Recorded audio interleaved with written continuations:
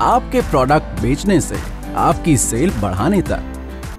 Big bless big bless हर कारोबारी की खुशियों की चाबी, खुशियों की अपनी दुकान।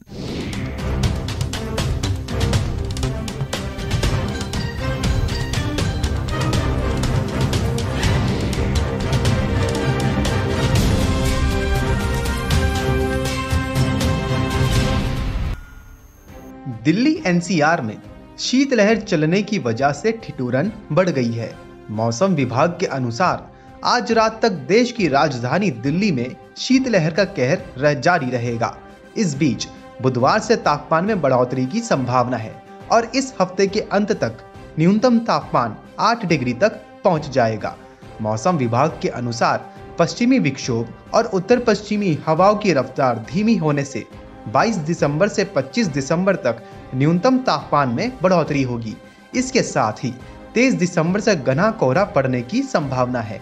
मौसम विभाग के अनुसार सोमवार को न्यूनतम तापमान सामान्य से 5 डिग्री कम 3.2 डिग्री सेल्सियस और अधिकतम तापमान सामान्य से 1 डिग्री कम 21 डिग्री सेल्सियस रिकॉर्ड हुआ। बीते 24 घंटों में हवा में नमी का स्तर चौवन से इक्यानवे फ़ीसदी रिकॉर्ड हुआ। वहीं आज, यानी मंगलवार को दिल्ली में अधिकतम तापमान 21 डिग्री सेल्सियस और न्यूनतम तापमान 4 डिग्री सेल्सियस रहने का अनुमान है। सुबह के समय कोहरा छाया रहेगा। दिन में हल्की धूप निकलने की संभावना है, लेकिन सर्दी से राहत नहीं मिलेगी। वहीं नोएडा में आज अधिकतम तापमान 22 और न्यूनतम तापमान 13.2 डिग्री सेल्सियस रहने का अनुमान है। यहाँ भी धूप निकलने की संभावना है, जबकि गुरुग्राम में आज अधिकतम तापमान 20 और न्यूनतम तापमान 8 डिग्री सेल्सियस रहने का अनुमान है।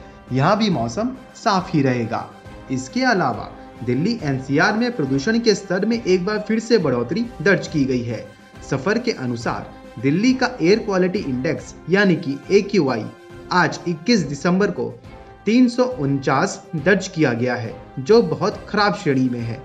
वहीं नोएडा की वायु गुणवत्ता सूचकांक भी आज बहुत खराब है और 321 रिकॉर्ड किया गया। वहीं गुरुग्राम में वायु गुणवत्ता सूचकांक 306 दर्ज किया गया है। we report Market Times TV.